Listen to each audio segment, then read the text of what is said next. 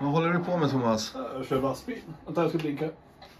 Men, eh, men en riktig, en riktig lastbilsratt. Den alltså. Den är stor. stora- Den är stor. Eh, Köra lastbil med den är roligt. Eh, Den släpps nästa vecka. Den här veckan tror jag.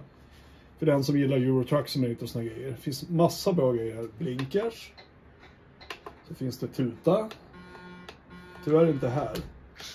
Så är det, sen är det lite så här nackdel också. Om man ska se någonting där borta då får man liksom göra så här. Så man känner sig som om man är ti- Ah. tio år gammal så här, och snott pappas bil.